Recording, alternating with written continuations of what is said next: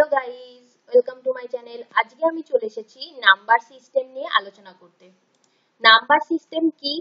আমরা সবাই জানি। বাট কিছু কিছু অঙ্ক আমরা সঠিক কোন প্রসেসে করলে খুব তাড়াতাড়ি নামবে, সেগুলো আমরা একটু বুঝতে পারি না। তো চলো আজকে আমি সেটাই দেখাবো।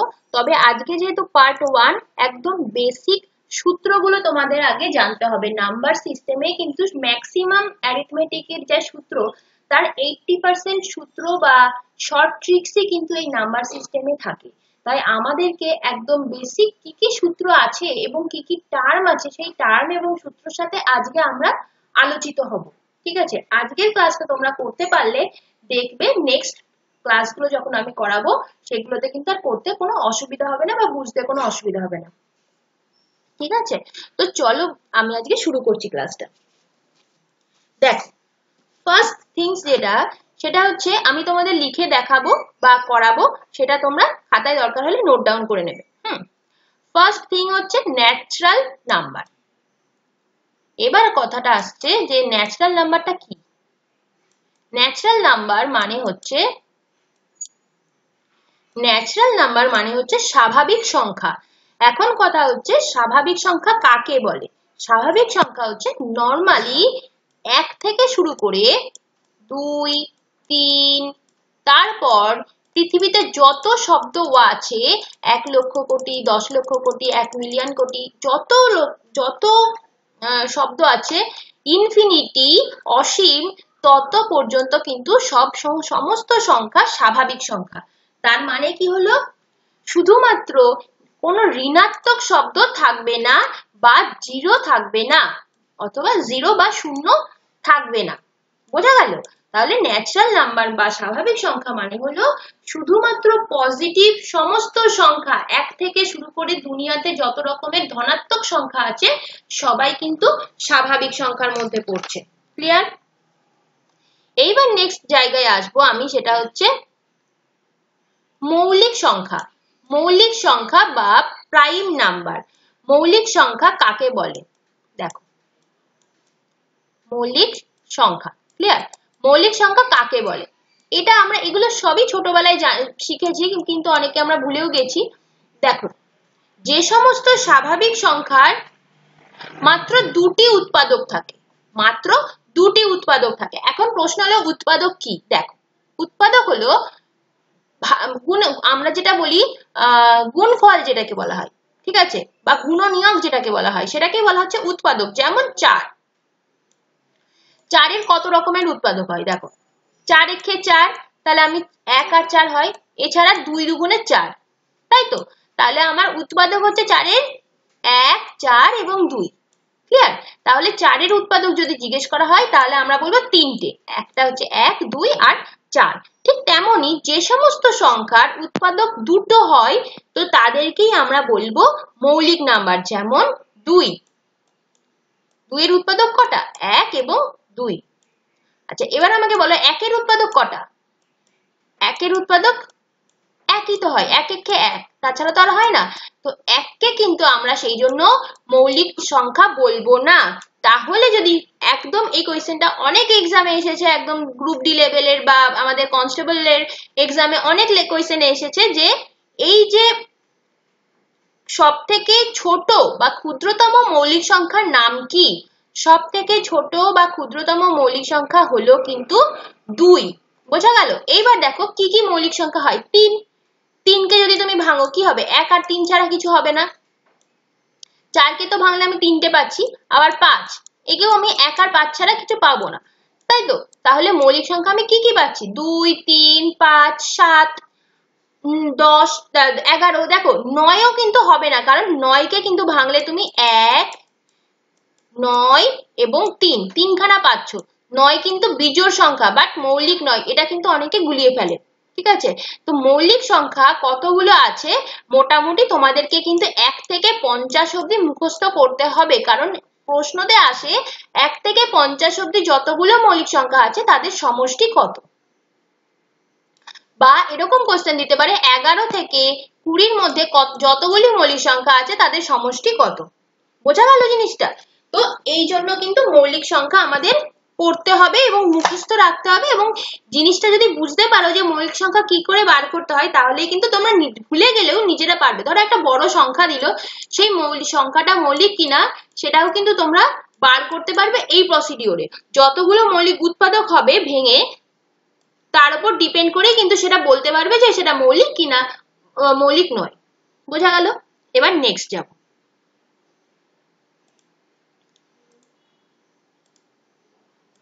দেখো এইবার আছে যৌগিক সংখ্যা। যৌগিক সংখ্যা মানে হচ্ছে যৌগিক সংখ্যা। যৌগিক সংখ্যা মানে কি? বা যৌগিক সংখ্যা মানে কি? যৌগিক সংখ্যা মানে হচ্ছে যে সমস্ত স্বাভাবিক সংখ্যার, দেখো প্রত্যেকেই কিন্তু স্বাভাবিক সংখ্যা হচ্ছে, কেউ কিন্তু ঋণাত্মক বলা হচ্ছে না। যে সমস্ত স্বাভাবিক সংখ্যার অন্তত পক্ষে বা কমপক্ষে তিনটি উৎপাদক আছে। কমপক্ষে তিনটি উৎপাদক আছে, তাদেরকেই আমরা বলব যৌগিক সংখ্যা। যেমন দুই তিন যৌগিক সংখ্যা নয় সব থেকে ছোট যৌগিক সংখ্যা হচ্ছে চার। বোঝা গেল? যাদের কমপক্ষে তিনটি আছে, তিন বা ততোধিক, তার বেশি অনেক থাকতে পারে বাট কমপক্ষে মিনিমাম তিনটে থাকবে। ক্লিয়ার যেমন চার, ছয় চার, ছয়, তারপরে দশ, এগুলো সবই যৌগিক সংখ্যা। আট এইবার আসো, পরস্পর মৌলিক সংখ্যা মানে কি? কথাটা বলা হলো কি? পরস্পর মৌলিক সংখ্যা। এগুলো কিন্তু লিখে নেবে খাতায়। সংজ্ঞা সহ, উদাহরণ সহ। ঠিক আছে? আর আমার ভিডিওটা যদি ভালো লেগে থাকে, অবশ্যই লাইক করবে। কিছু জায়গায় বুঝতে অসুবিধা হলে কমেন্ট করে জানাবে। ঠিক আছে? আর যারা আমার চ্যানেলে নতুন আছো সাবস্ক্রাইব করে নেবে। দেখো। পরস্পর মৌলিক সংখ্যা কি? আমরা তো মৌলিক সংখ্যা মানে বুঝলাম, যার দুটো উৎপাদক থাকবে, তাই তো? এবার পরস্পর মৌলিক সংখ্যা সাপোজ ধরো আমি দুটো সংখ্যা দিলাম, সেটা হচ্ছে আট আর নয়।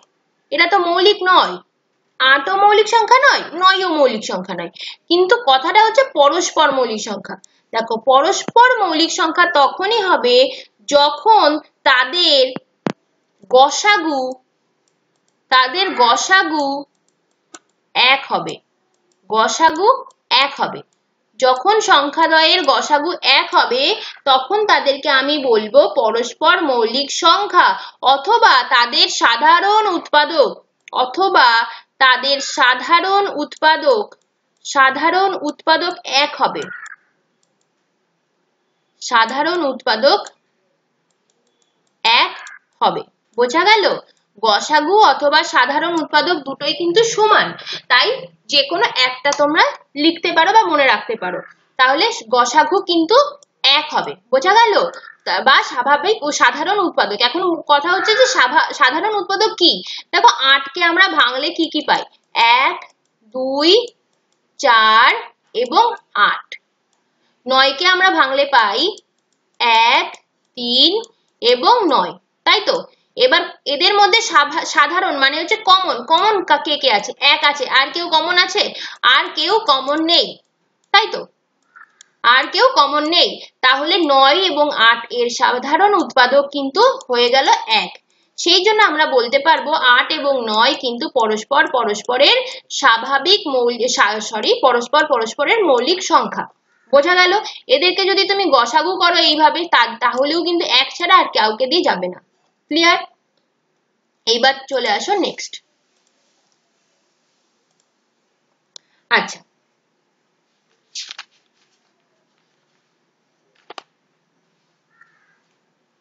এইবার প্রশ্ন হচ্ছে,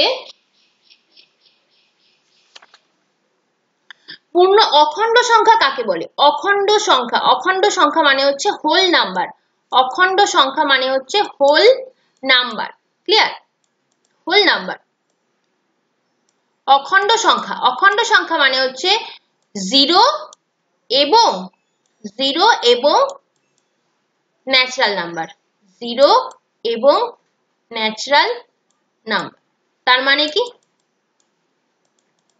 জিরো থেকে শুরু করে এক, দুই, তিন, চার, পাঁচ dot dot dot dot dot infinity অসীম সমস্ত সংখ্যায় কিন্তু হোল নাম্বার বা অখণ্ড সংখ্যা। ক্লিয়ার জিরো থেকে শুরু করে মানে জিরোটা কিন্তু ইনক্লুডেড এইবার আসছি আমরা পূর্ণ সংখ্যা কাকে বলে?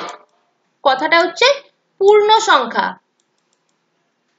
পূর্ণ সংখ্যা বা ইন্টিগার আমি যদি ইংলিশের বইতে দেখি তাহলে পাবো হচ্ছে আমরা ইন্টিগার ইন্টিগার মানে কি? দেখো। এইটা কিন্তু আমাদের দুনিয়াতে যত রকমের সংখ্যা আছে, প্রত্যেকেই কিন্তু পূর্ণ সংখ্যা। মানে যত সংখ্যা মানে কি? এই যে এক এক মানে একটা হরলব ভগ্নাংশ আকারে নয় নর্মাল সংখ্যা। যেমন minus one minus two minus three তারপর dot dot dot in infinity এদিকে মাইনাসেও ইনফিনিটি মাঝখানে জিরো আবার এদিকে কিন্তু one two three four dot dot infinity বোঝা গেল? সমস্ত দুনিয়ার সমস্ত ঋণাত্মক এবং জিরো এবং ধনাত্মক পূর্ণ সংখ্যায় কিন্তু, সবাই কিন্তু পূর্ণ সংখ্যা, ঠিক আছে? কিন্তু এদেরকে কিন্তু কখনোই ভগ্নাংশগুলো কিন্তু হবে না। যারা শুধুমাত্র যাদেরকে আমি বলতে পারব যে P by Q equal to যারা ওয়ান হবে বা ওয়ানের মতো হবে মানে পি বাই ওয়ান এই কথাটা আমি যাদেরকে বলতে পারব। ক্লিয়ার বোঝা গেল? তো এই হচ্ছে ব্যাপার। পূর্ণ সংখ্যা বোঝা গেল। এবার যদি বলে যে ঋণাত্মক পূর্ণ সংখ্যা মানে মানে মাইনাসের ওটা, আর যারা যদি বলে পজিটিভ পূর্ণ সংখ্যা বা ধনাত্মক পূর্ণ সংখ্যা তখন এই পজিটিভ সংখ্যাগুলো মানে ন্যাচারাল নাম্বার সবাই কিন্তু পজিটিভ পূর্ণ সংখ্যা বা ধনাত্মক পূর্ণ সংখ্যা বোঝা গেল? আচ্ছা। এবার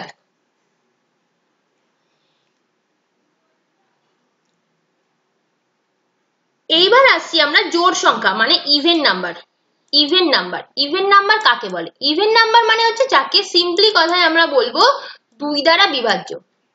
যারা দুই দ্বারা বিভাজ্য, তারা প্রত্যেকে ইভেন নাম্বার ক্লিয়ার আর যদি বলি আমি অড নাম্বার বা বিজোড় সংখ্যা অড নাম্বার বা বিজোড় সংখ্যা, তারা হবে হচ্ছে যারা দুই দ্বারা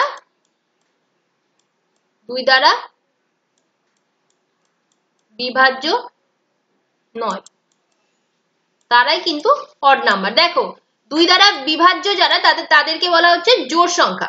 তাই তো? এইবার দেখো, সেটা কিন্তু প্লাসও হতে পারে মাইনাসও হতে পারে। তার মানে আমি এরকম ভাবে লিখতে পারি প্লাস টু প্লাস আর minus two plus plus minus four plus minus six সবাই কিন্তু ডট ডট ডট সবাই কিন্তু ইভেন নাম্বার এরকম ভাবে যারা নন ইভেন নাম্বার বা অড নাম্বার তারা plus minus one plus minus three plus minus five plus minus seven এরকম সব কটাই কিন্তু যারা বিজোড় নয় দুই দ্বারা বিভাজ্য নয়, তারা কিন্তু প্রত্যেকেই বিজোড় সংখ্যা। বোঝা গেল?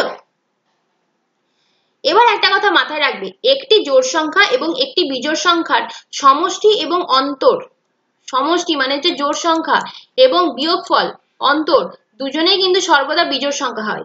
এটা মাথায় রাখবে। এগুলো শর্ট কোশ্চেনে দিতেই পারে মানে এমসিকিউতে দিতেই পারে। বিজোড় সংখ্যা হয় না জোড় সংখ্যা হয় নাকি? এবার সেক্ষেত্রে তোমরা যদি মনে রাখতে না পারো সিম্পল একটা এক্সাম্পল দিয়ে করে দেখবে। দেখো, দুটো এক্সাম্পল দিয়ে করবে, দরকার হলে যদি কনফিউশন থেকে থাকে, যেমন আমি ধরো এক্সাম্পল আমি দিচ্ছি ধরো, আমি দিচ্ছি ধরো একটা ইভেন নাম্বার নিলাম চার, আর একটা অড নাম্বার দিলাম পাঁচ। ঠিক আছে? এদেরকে যোগ করো, কত হয়? নয়। এদেরকে বিয়োগ করো। কত হয়? এক। এরা প্রত্যেকে বিজোড় সংখ্যা হলো তো? আচ্ছা এটা তোমাদের কনফিউশন হলো। আমি ধরো আর একটা সংখ্যা দিচ্ছি। একটা নিলাম হচ্ছে আট, আর একটা নিলাম হচ্ছে পনেরো। ক্লিয়ার এবার দেখো, তুমি যোগ করো। আট আর পাঁচে হয় হচ্ছে তেরো, আট আর একে আট আর একে নয় আর একে দশ। চলে গেছে সরি আট আর পাঁচে হয় তেরো আর এক, দুই, তেইশ। ক্লিয়ার এবার যদি তুমি বিয়োগ করো, তাহলে হবে সাত। তাহলে কি হলো? এরা সবাই বিজোড় হলো। তো এটা কিন্তু এই ধরনের যে আমাদের সূত্র কিছু ধর্ম রয়েছে, এগুলো তোমরা মুখস্থ রাখতেও পারো, নাও রাখতে পারো বাট বুঝতে হবে। এগুলো যদি তোমরা বুঝে যাও, তাহলে মুখস্থ রাখার কোনো দরকার নেই। পরীক্ষায় যাই দিক না কেন, এগুলো কিন্তু তোমরা ইজিলি নামাতে পারবে।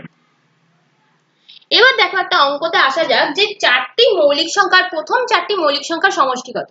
তোমাকে আমি ফার্স্ট সময় বলেছিলাম, যখন আমি মৌলিক সংখ্যার কথাটা, অঙ্কটা করলাম, বোঝালাম কি মৌলিক সংখ্যা, তখনই বলেছিলাম কিন্তু এই ধরনের কোয়েশ্চেন পরীক্ষায় দেয়। এবার দেখো, চার থেকে চারটি, প্রথম চারটি, প্রথম মানে দুই, তিন, পাঁচ, সাত। পাঁচ আর সাথে বারো বারো আর পাঁচে সতেরো। তো অ্যান্সার হয়ে যাবে কিন্তু অপশন ডি ক্লিয়ার আচ্ছা এটা তোমরা হোমওয়ার্ক থাকবে, এটা নিজেরা করবে। ষাট এবং পঁচাত্তরের মধ্যে মৌলিক সংখ্যাগুলির সমষ্টি কত? এটা তোমরা নিজেরা করবে। একদম সেম ভাবে করতে হবে ইজিলি ঠিক আছে? নেক্সট এইবার একটা অঙ্ক দেখো। বলছে, দশ থেকে পঞ্চাশের মধ্যবর্তী যে মৌলিক সংখ্যাটির অঙ্কদয় স্থান পরিবর্তন করলেও তাদের মানের পরিবর্তন হয় না, তাদের বর্গ, তার বর্গটা কত? দেখো, দশ থেকে পঞ্চাশ। আমরা কি কি বলেছি আগে দেখে নিই। এক হচ্ছে দশ থেকে পঞ্চাশ। এবার আমাকে একটা প্রশ্নের উত্তর দাও। দশ থেকে পঞ্চাশের মধ্যে কি কি কন্ডিশন চেয়েছে? এমন একটি মৌলিক সংখ্যা হতে হবে যাকে স্থান, অঙ্কদয় স্থান পরিবর্তন করলেও তাদের মানের কোনো রকম পরিবর্তন হবে না। এবার আমাকে বলো, এমন একটি মৌলিক সংখ্যা যার স্থান পরিবর্তন করবে। অঙ্কদয় মানে হচ্ছে কি? একক দশক ঘর। জানো নিশ্চয়ই তোমরা জানো। একক, দশক, শতক এভাবে হয়। এবার দুই অঙ্ক বলেছে যেহেতু, তার মানে কি? স্থান পরিবর্তন মানে এগারো, বাইশ, তেত্রিশ চৌত্রিশ চুয়াল্লিশ এবং হচ্ছে পঞ্চান্ন পঞ্চান্ন তো হবে না, পঞ্চাশের মধ্যে বলেছে, তার মানে আমরা পাঁচটা সংখ্যা পেলাম, চারটে সংখ্যা পেলাম। যাদের অঙ্কদয়ের স্থান পরিবর্তন করলেও আমরা একই ভ্যালু পাবো, তাই তো? তেত্রিশকে উল্টালেও তেত্রিশ হবে এগারোকে উল্টালেও এগারো হবে সামথিং এইবার কথাটা হচ্ছে তাদেরকে মৌলিক সংখ্যা হতে হবে। এবার আমাকে বলো, এই চারটে সংখ্যার মধ্যে কে মৌলিক সংখ্যা? একমাত্র এগারো মৌলিক সংখ্যা। আর কেউ মৌলিক সংখ্যা আছে এখানে? নেই? তো অ্যান্সার আমার অলরেডি পেয়ে গেলাম এগারো। এগারোর বর্গ কত হয়? এগারোর বর্গ হয় একশো একুশ। আমি দেখব মিলিয়ে হয় কিনা, এখানে আছে কিনা অপশন এগারোর বর্গ হয় একশো একুশ এবং অপশনেও রয়েছে একশো একুশ, তো অপশন হয়ে গেল ডি বোঝা গেল জিনিসটা? তো আমরা কনসাইজ করব, আগে কি বার করতে বলেছে সেটা আমরা বুঝব, বুঝলে কিন্তু আমরা অঙ্কটা ইজিলি নামাতে পারব ক্লিয়ার নেক্সট এইবার একদম তোমাদেরকে কিছু সূত্র আমি শেখাবো। সেই সূত্রগুলো একটু ভালো করে লিখে নাও খাতায়। সেটা হলো কয়েকটা মনে রাখার জিনিস। আমি তোমাদের সমষ্টি কি করে বার করতে হয়? সমষ্টি কি করে বার করতে হয় সেটা আমি দেখাবো। এক হচ্ছে যদি এমন বলে, এক প্লাস দুই প্লাস তিন plus dot dot dot N সংখ্যক সংখ্যা, এর সমষ্টি কত? যোগফল কত? তো কি অ্যান্সার হবে? তুমি কি তাহলে বসে বসে গুণ করতে বসবে? ধরো এনের জায়গায় এখানে তোমাকে দিল পঞ্চাশ। তাহলে কি তুমি যোগ করতে বসবে জিনিসগুলো? দুই আর একে তিন তিন আর তিনের ছয়, এভাবে কি যোগ করতে বসবে? সম্ভব নয়। তোমার হাতে ওইখানেই তোমার পনেরো মিনিট চলে যাবে যোগ করতে গিয়ে। তো আমার এই অঙ্কগুলো করার একটা ছোট্ট ট্রিক্স আছে বা সূত্র আছে, এটা সবাই জানে। ইভেন আমরা এগুলো যখন নর্মালি পড়েছি ক্লাসে তখনও কিন্তু এগুলো পেয়েছি। তো সূত্রটা কি? লিখে নাও খাতায়। যে সংখ্যাটা লাস্ট থাকবে, সেই সংখ্যাটা ইন্টু তার সাথে একটা এক যোগ করে দেব। যে সংখ্যাটা লাস্ট থাকবে লাস্টে থাকবে, সেই সংখ্যাটাকে তার সাথে এক যোগ করে গুণ করে দেব। তাকে দুই দিয়ে ভাগ করে দেব। বোঝা গেল? তার মানে আমি যদি একটা উদাহরণ দেখি, যে এক, দুই, তিন, পরপর ডট ডট ডট, পঞ্চাশ অব্দি বলা আছে, তাহলে এর অ্যান্সারটা কত হবে? লাস্ট সংখ্যা আছে পঞ্চাশ, গুণ পঞ্চাশের সাথে এক যোগ করলে হয় একান্ন বাই দুই, তার মানে হয়ে গেল এখানে পঁচিশ, তাই তো? পঞ্চাশ দিয়ে কাটলে। পঞ্চাশ গুণ একান্ন করলে যেটা হবে, সেটাই তোমার অ্যান্সার গুণ করে নেবে, এখন আমি এত গুণ করতে পারব না। গুণ করে নেবে অ্যান্সার পেয়ে যাবে। বোঝা গেল? তো তোমাকে সিম্পল এই, এইটুকুনি করতে হবে। সিম্পল এইটুকুনি করতে হবে। বোঝা গেল? এইবার নেক্সট সূত্রতে আসা যাক। নেক্সট সূত্র হচ্ছে আমি যদি, তোমাকে যদি বলা হয়, দেখো, এটা একদম ছিল ন্যাচারাল নাম্বারের কিন্তু এবার তোমাকে বলা হলো যে তোমাকে বিজোড় সংখ্যা দেওয়া হলো। বিজোড় সংখ্যার যোগফল করতে বলেছে। এক, তিন, পাঁচ, সাত, এরকম ভাবে ডট ডট ডট বলেছে এন সংখ্যক বিজোড় সংখ্যা বা এন মাইনাস ওয়ান সংখ্যক বিজোড় সংখ্যা। বোঝা গেল? তো সেক্ষেত্রে তাদের সমষ্টি তুমি কি কি করে বার করবে? কি করে বার করবে? এখানে একটা জিনিস তোমাকে বলে দিই। আমি এখানে তোমাকে একটা এক্সাম্পল বলে দিচ্ছি। এক, তিন, পাঁচ, সাত ডট যোগ ডট ডট তোমায় বলে দিল ধরো একশো বা নিরানব্বই দিয়ে দিল। বলেছে এদের যোগফল কত বা সমষ্টি কত? এইবার তুমি দেখো, এটা বিজোড় সংখ্যা যেহেতু, দেখে নিয়েছিল বিজোড় সংখ্যা, তাই তো? এইবার আমাকে জানতে হবে যে একটা সংখ্যার, একটা নাম্বার অফ সংখ্যার মধ্যে ধরো নিরানব্বইটা মানে একশোটা। যদি লাস্ট সংখ্যাটা বিজোড় সংখ্যা থাকে, তাহলে তাকে এক বাড়িয়ে দেবে, দিয়ে জোর করে নেবে। মানে এখানে নিরানব্বই আছে, আমি এক বাড়িয়ে একশো করে দিলাম। এবার আমাকে বলো, একশোটা সংখ্যার মধ্যে কতগুলো বিজোড় সংখ্যা থাকে? এটা একটা সূত্র সূত্র নয়, ঠিক, বলা যাবে না। এটা অ্যাকচুয়ালি এটা, এটাই ফ্যাক্ট সেটা হচ্ছে কি, একশোটা সংখ্যার মধ্যে বা যতগুলো একটা জোর সংখ্যার মধ্যে বিজোড় সংখ্যা থাকবে ফিফটি পার্সেন্ট এবং জোর সংখ্যা থাকবে ফিফটি পার্সেন্ট একটা জিনিস খেয়াল করলে দেখতে পারবে, একটা সংখ্যা অন্তর একটা সংখ্যা আসছে বিজোড়। তার মানে আমার এটা বোঝা যাচ্ছে যে একটা অ্যামাউন্টের সংখ্যার মধ্যে ধরো একশোটা সংখ্যা বলা হলো, তার মধ্যে পঞ্চাশটা জোর সংখ্যা থাকে, পঞ্চাশটা বিজোড় সংখ্যা থাকে। এইটুকুনি বোঝা গেল তো? এইবার তোমাকে বলেছে নিরানব্বই অব্দি তার মানে তুমি এক, বাড়িয়ে নিলে একশো। তাহলে একশোটার মধ্যে কতগুলো বিজোড় সংখ্যা আছে? একশোটার মধ্যে কতগুলো বিজোড় সংখ্যা আছে? না, একশো বাই দুই মানে হচ্ছে পঞ্চাশটা। এটুকুনি ক্লিয়ার জোর সংখ্যাও কিন্তু পঞ্চাশটাই আছে। তো আমি বিজোড়টার যোগফলটা বার করছি। তো এর যোগ করার সূত্রটা হচ্ছে, যতগুলো বিজোড় সংখ্যা আছে সেই সংখ্যাটা, সংখ্যাগুলোর মধ্যে, এর মধ্যে যতগুলো বিজোড় সংখ্যা আছে, তাকে আমি বর্গ করব। মানে এন স্কোয়ার করব। তার মানে নিরানব্বই অবধি আমি কি করব? পঞ্চাশের স্কোয়ার করব। অ্যান্সার কত হবে? পঁচিশ।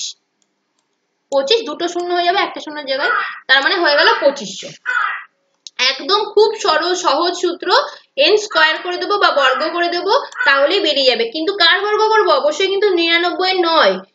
কার বর্গ করব না? এই অ্যামাউন্টের মধ্যে যতগুলো বিজোড় সংখ্যা আছে, ততগুলো, তার। তার মানে নিরানব্বই আছে, তার মানে আমি একশো করে নিলাম একে। রাউন্ড ফিগারে জোর সংখ্যায় একশো করে নিয়ে তাহলে তার বিজোড় সংখ্যা হবে হচ্ছে পঞ্চাশটা ফিফটি পার্সেন্ট এইবার আসলো নেক্সট অঙ্ক, ধরো তোমাকে জোর সংখ্যার যোগফল বার করতে দিয়েছে মানে হচ্ছে দুই দিল দুই, চার, ছয়, এইভাবে ডট ডট ডট বললে হচ্ছে একশো জোর সংখ্যার সমষ্টি বার করো। সেক্ষেত্রে তুমি কি করবে? সেম জিনিস, এখানে এন মানে জোর সংখ্যা জোর সংখ্যা কতগুলো আছে? পঞ্চাশটা। কিন্তু এর সূত্রটা একটু আলাদা, কি সূত্র? না, এর সূত্রটা হচ্ছে N into N plus one তার মানে এখানে এন কত? পঞ্চাশ। পঞ্চাশ ইন্টু একান্ন। পঞ্চাশ আর একান্নকে গুণ করবে, যেটা অ্যান্সার হবে সেটাই। এখানে অ্যান্সার হবে হচ্ছে পঁচিশশো পঞ্চাশ। ক্লিয়ার বোঝা গেল? এই জিনিসগুলো কিন্তু একদম মুখস্থ করতে হয়। এগুলো মুখস্থ ছাড়া কোনো গতি নেই। তুমি সে যেই ইনস্টিটিউশনে যাও না কেন, এগুলো তোমাকে মুখস্থ করতেই হবে এবং মুখস্থ করার ট্রিক্স একটু আলাদা। এটাই আমি তোমাদের বুঝিয়ে দিলাম যে যে সংখ্যাটাকে যেভাবে কোথাও আমি যেভাবে বোঝালাম এভাবে যদি তোমরা মুখস্থ করো আমার মনে হয় তোমরা ভালোভাবে শিখতে পারবে। ঠিক আছে? বা মনে রাখতে পারবে। এইবার আসছি। আচ্ছা। তাহলে বোঝা গেল এতটুকু। এইবার আসছি বর্গ সংখ্যা এইগুলোর উপরে কিন্তু আমি পরের দিন অঙ্ক করতে দেব। আজকে আমি বেসিকটা শেখাচ্ছি। One square two square three square dot dot dot N square মানে এন সংখ্যক। এর যোগফল কত? নর্মাল বর্গের যোগফল কত? এর সূত্রটা লিখে নেবে। লাস্ট যে সংখ্যাটা আছে N into N plus one into two N plus one two N plus one in by six এমন কোনো কঠিন কাজ নয়। তার মানে আমি যদি এখানে এন এর জায়গায় আমার একটা সংখ্যা থাকে মানে আমি যদি একটা সংখ্যা দিই one square plus two square plus dot dot dot ধরো বলা হলো আমার এখানে কুড়ি স্কোয়ার টোয়েন্টি স্কোয়ার এবার যোগফল বার করতে দিয়েছে। কি করব? কুড়ি গুণ একুশ গুণ কুড়ি দুগুণে কুড়ি দুগুণে কত হয়? চল্লিশ আর একে একচল্লিশ। একচল্লিশ বাই ছয়। কাটাকুটি করব। দুই দিয়ে যাবে দশ, তিন দিয়ে কাটবে হচ্ছে সাত। তাহলে অ্যান্সার পাবো হচ্ছে সাতে সত্তর। সাত সাত দিয়ে একচল্লিশকে গুণ করলে হয় দু হাজার আটশো সত্তর। এই হয়ে গেল অ্যান্সার বোঝা গেল? এই সূত্রটা নোট ডাউন করে নাও। আচ্ছা নেক্সট নেক্সট আরেকটা সূত্র আমি দেখাবো, সেটা হচ্ছে কিউব দিয়ে। কিউব মানে ঘন। One cube plus two cube, এগুলো কিন্তু খুব আসে পরীক্ষায়। Three cube plus N cube. সেক্ষেত্রে সূত্রটা কি হবে? সূত্রটা হচ্ছে N into N plus one by দুই। এটা একদম ওই আগের সূত্রটার মতো, প্রথম সূত্রটার মতো তাকে স্কোয়ার করে দেবো। মানে পুরোটার হোল স্কোয়ার। এটা করে দেবো, তাহলেই হয়ে যাবে। তার মানে কি? যদি আমি একটা অঙ্ক দিই one cube plus two cube plus dot dot dot দশ কিউব এরকম যদি একটা সংখ্যা দিই এবং যোগ করতে বলি, তখন আমি কি করব? না, দশ, আমি ফাঁকা জায়গায় করি, দশ ইন্টু এগারো বাই দুই তার স্কোয়ার তার মানে হবে হচ্ছে পাঁচ পঞ্চান্ন তার স্কোয়ার পঞ্চান্ন তার স্কোয়ার এই কি করে বর্গ করতে হয় না? এটাও আমি তোমাকে শিখিয়ে দেবো। এটা যেমন পঞ্চান্ন স্কোয়ারটা খুব সহজেই মুখে মুখে করতে পারব, তোমাকে খাতাই পেন ইউজ করতে হবে না। পাঁচে যদি এরকম পঞ্চান্ন যদি এরকম লাস্টে যদি পাঁচ থাকে না, সেক্ষেত্রে কি করবে বলতো? লাস্টে পাঁচটাকে পাঁচ দিয়ে গুণ করবে। কত হয়? পাঁচ পাঁচা পঁচিশ হাতে থাকল দুই। এই দুইটাই বসিয়ে দেবে। পঁচিশটা বসিয়ে দিলে। পাঁচ পাঁচা পঁচিশ, পঁচিশটা বসিয়ে দিলে। এবার আগে যে সংখ্যাটা আছে, এই সংখ্যাটার সাথে এক যোগ করবে। এই সংখ্যাটার সাথে এক যোগ করবে মানে এখানে আছে পাঁচ, প্রথম সংখ্যাটা, তাই তো? এই পাঁচের সাথে এক যোগ করলে কত হয়? ছয় হয়। এই ছয়ের সাথে পাঁচ গুণ করে দেবে, কত হয়ে যাবে? তিরিশ। তার মানে তিরিশ পঁচিশ। এটা কিন্তু মুখে মুখে হয়। আমি একটা ভিডিওতে করিয়ে দেবো, এই ক্লাসটা নেব আলাদা করে। তো যাই হোক, এই হচ্ছে অ্যান্সার মোটামুটি তোমরা এইটুকুনি জিনিস আগে শেখো বেসিক জায়গাটা।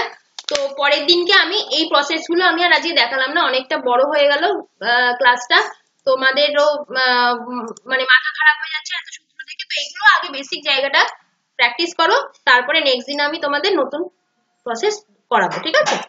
চলো থ্যাংক ইউ